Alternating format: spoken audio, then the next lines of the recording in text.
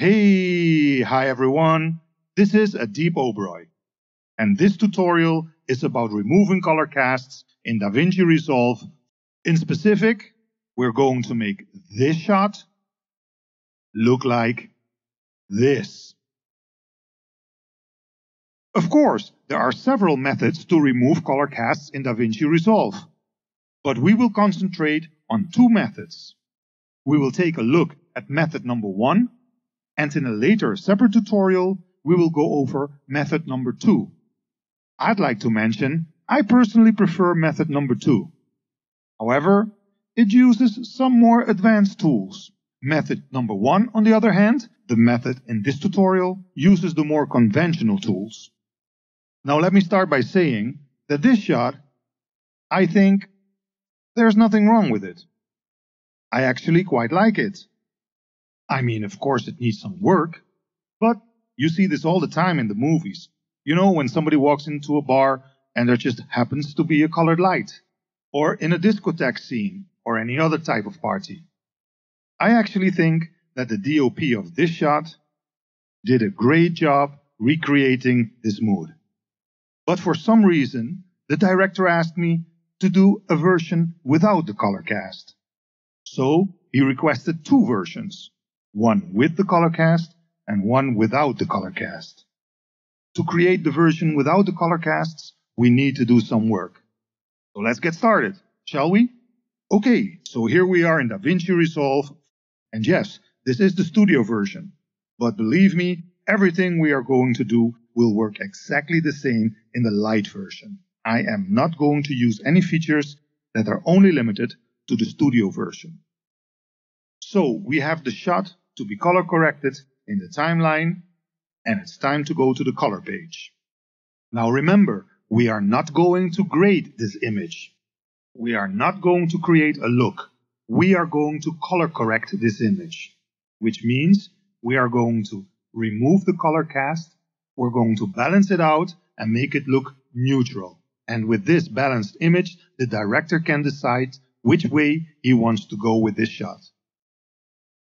So let's create our first node, shall we? And traditionally, we will leave this empty. And here is our second node, which we are going to work in. So let's analyze this picture. Of course, number one, there is a tremendous color cast. And what else do we need to correct? As we see in our waveform, we need to correct the exposure. And third, we see in the vector scope that it's highly oversaturated. As we know in Da Vinci, the order of the nodes are very important. What I would like to do eventually is white balance this image and take out the color cast. And as there is no true black point that we know of, nor a true white point, we need to rely on something else, the skin tones. So what I will do eventually is select the skin tones and correct that. But as you will see, this doesn't work at this moment because there is something else we need to do first. So let's reset this node. And the first thing we're going to do is let's look at our waveform and correct the exposure.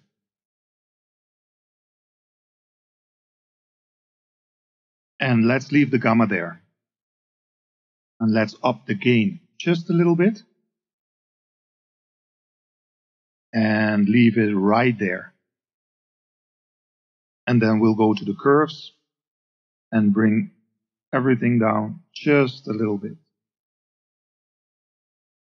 And now we see on the waveform that the exposure is much better. And let's label this node exposure.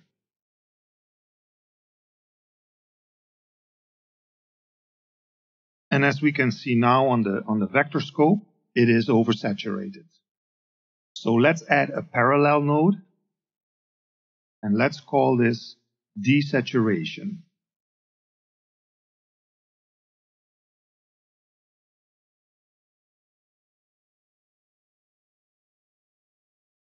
And we'll bring the saturation down. Let's look at the vector scope. Let's put it at 50. Now that looks much better. I mean, it still has the color cast, but the exposure is better and it's not oversaturated anymore. So now let's start correcting the white balance.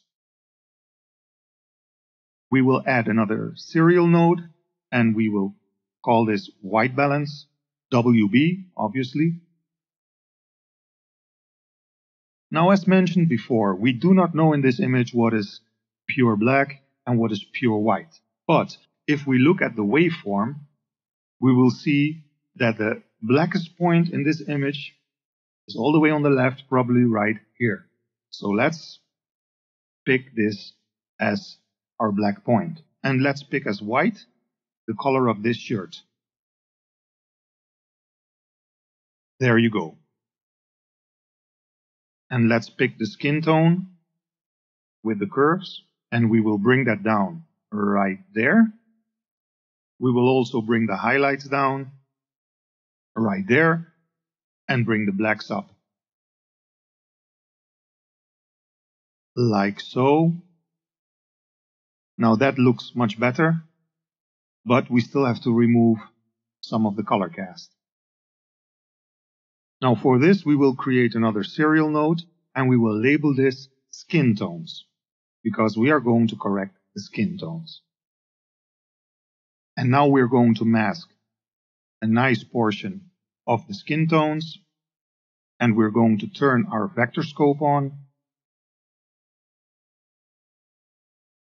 and we are going to offset this very nicely until we see that the skin tones are on the skin tone line. Now the skin tone line is, is just a reference, it's right here, but it helps a lot. And so far we got this. We went from this to this. One more time, from this to this. Now, I feel that there is still a strong yellow-greenish color cast. So we're going to get rid of that. We create an extra serial node, and we are going to label this one hue versus saturation. So let's go to the curves, let's go to hue versus saturation. Let's turn on the vector scope. And let's pick where that color cast is. I feel it's right here. Let's include some more greens and bring that down.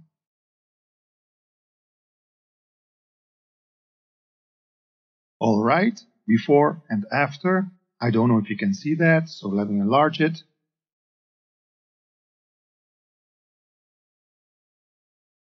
Now let's increase the color boost just a little to bring a little color back into the image. Let's put it at 15.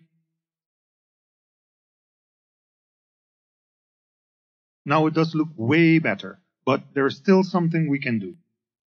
So let's add another serial node and let's pick that problem area again. Let's see right there. And now we are in hue versus hue.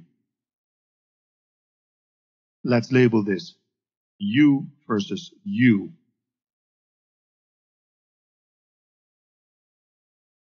Let's broaden this out just a little bit.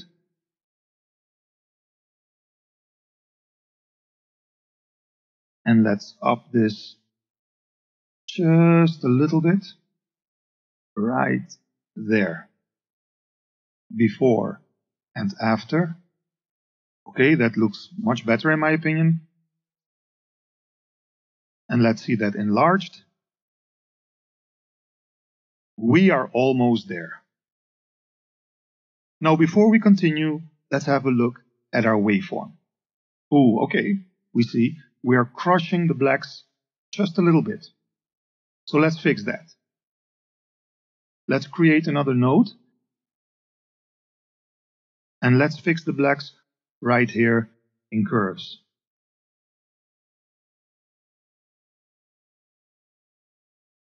And we see right away that our blacks are much better.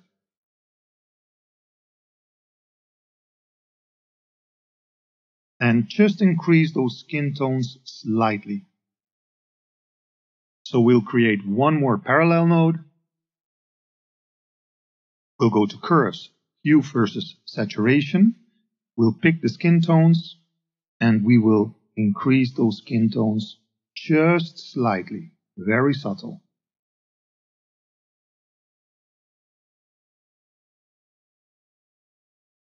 So we're done.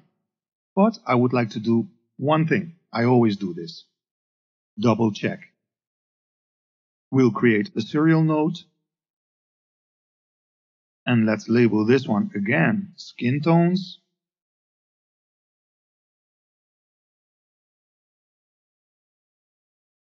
And let's pick the skin tones. This time, let's pick the forehead.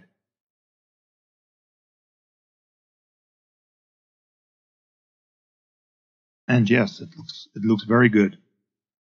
I'm also going to check this other part of the skin tones right there. And yes, that looks good. And there we have it. Before and after. Once again, before and after. Now let's collect all the nodes and put them into one compound node. And now this compound node is my color correction.